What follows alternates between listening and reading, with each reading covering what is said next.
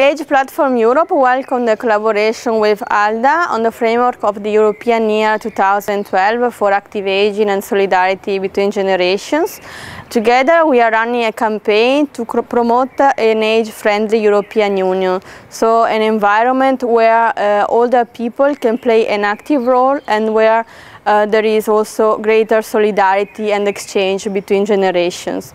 Together we produced a manifesto with our recommendation for EU, national and local uh, actors in order to promote age-friendly European Union and we produced a roadmap with our initiatives to promote uh, this European year and our vision of a society for all ages.